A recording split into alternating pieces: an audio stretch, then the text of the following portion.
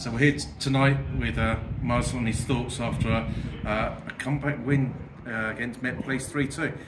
2 0 up in the first half, 2 all. Was it Saturday to be repeated again? The boys had it in them, they brought it through. Tell us about it. It was a carbon copy of Saturday, wasn't it, Charles? To be honest, we were. Uh, I thought we were excellent first half. I really did thought we were brilliant, um, and maybe we could have had one or two more. Uh, I think a decision or two. I personally think they should have had a. They went down to ten men in the first half, but it didn't go for us. But I did think the boys were excellent first half. Second half, credit to them. Um, you know, Gavin's got a great side there for the resources that he deals with. Um, they're always going to be live in a, in a game of football, and that, that proved in the second half. Scored a good goal and put us on the back foot, and then they got a bit fortunate with the second one, but it was a, a very evenly matched second half. If anything, they edged it. But I think it shows great character from the lads to you know to dig in to see what happened Saturday, be two 0 up and go back to two all and withdraw the game to then be this exact same tonight.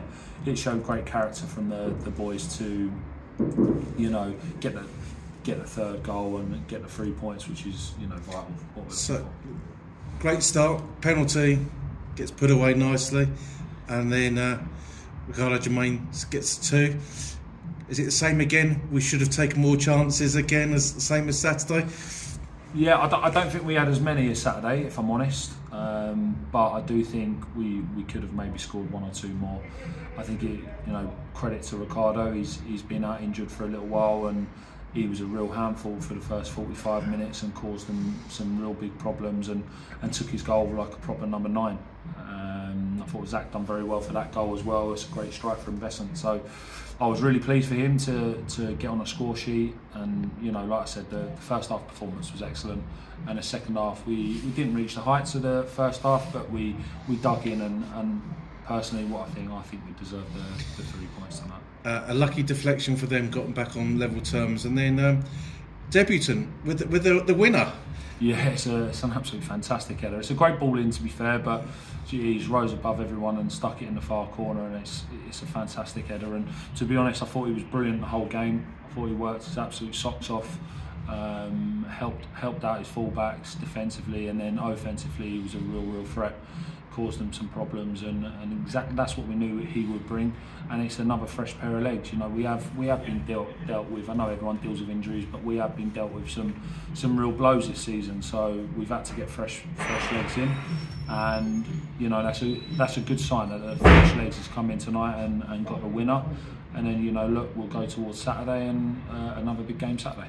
Yeah, it, it looked like he slotted in as if he'd been with the, the squad all season. But uh, who stood out for you though today? Who stood out for me? Um, again, I think you've got obviously the match winner, um, Carl.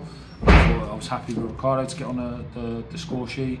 You know, apart from the blitz, I thought we started the second half quite well, for 15 minutes, and we've made a bit of an error um, for, for their goal, and then we did go on a back foot. But overall, I thought we defended quite well. I thought Besso come for some great crosses at some vital times, and, and that was definitely pleasing because that's what you need when you when you're under the cosh at times you need your goalie to dig you out from, from big crossing opportunities and he did that tonight so I was pleased with him but Giles to be honest I couldn't stand and pick pick one person I was just delighted with the team to get over the line and get the three points So how does it feel to put the league aside for Saturday and cup action at home?